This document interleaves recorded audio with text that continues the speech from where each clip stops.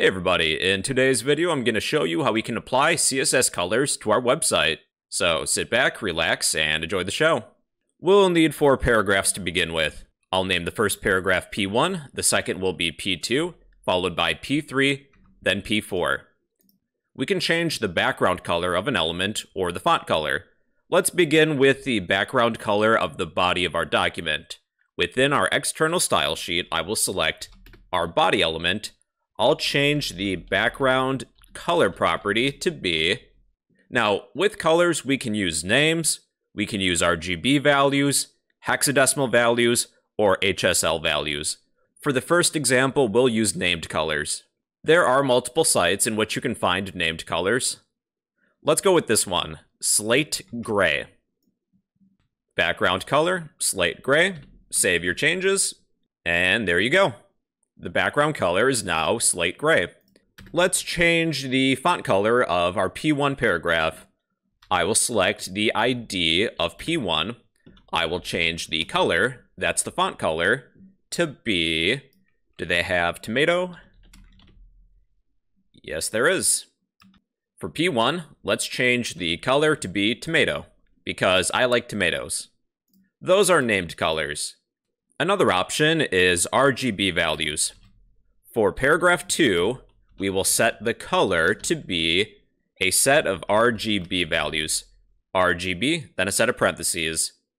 R meaning red, G meaning green, B meaning blue. I would recommend looking up a color picker for this. I would like a light bluish color. So let's select, uh, that's good you'll find a set of three values for RGB. These values range from 0 to 255. We will paste those three values within the set of parentheses, and there's that blue color. Let's do this with the background color too. Let's change the background color from a named color to RGB values. RGB, parentheses. Let's go with whatever color this is. 41, 41, 41. And there's that new color. Then we have hexadecimal values. For P3, we will change the color to be some hex value. Let's go with the green color. That's decent. Hexadecimal values are a combination of numbers and letters. The letters range from A to F. We'll copy this hex value, then paste it.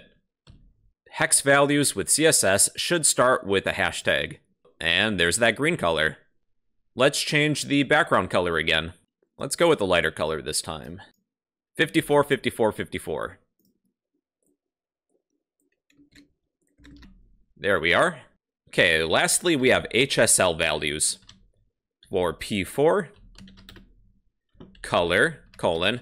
Now, if you're using VS Code, here's a little trick. We can pull up a color picker.